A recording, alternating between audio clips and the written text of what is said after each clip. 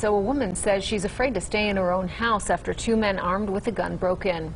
This happened near Rainbow and Alta Monday evening.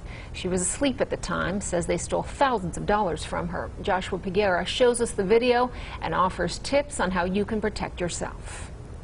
This ring door video camera captured two people breaking inside this home. The home's alarms didn't go off, and experts believe the suspects may have had a device that disabled the Wi-Fi, turning off the security system. Might have lost everything I had, but I'm still here. Lovely Glinton is feeling anxious living inside a home she bought three months ago. Her security camera captured two burglars holding a gun and using a pick to get in. I was up all last night, just sitting in the middle of the bed with my phone and the gun my son gave me. I kept hearing stuff. Police showed up the night of the break-in. Now she has taken action to feel safe.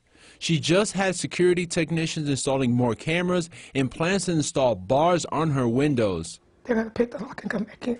Glinton says a thief stole $47,000 she had stashed in envelopes. The money was going towards paying contractors currently working on her house.